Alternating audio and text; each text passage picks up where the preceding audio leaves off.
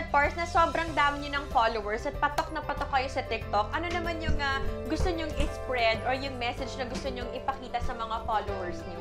ano lang, parang marami lang kasing nag, ano eh, nagsasab, nagko-comment na parang sana all.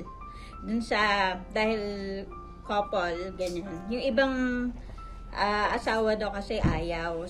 Saka kasi dahil dun sa mga nangyayari sa paligid natin, so parang karamihan kahit sa news, kumbaga medyo nakakabigat ng kalooban.